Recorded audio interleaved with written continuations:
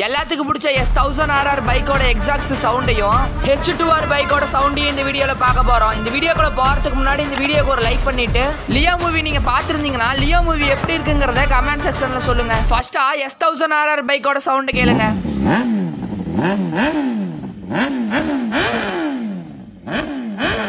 H two R பைக்கோட exact சவுண்டை கேட்கறதுக்கு முன்னாடி நம்ம சேனலை சப்ஸ்கிரைப் பண்ணிக்கோங்க.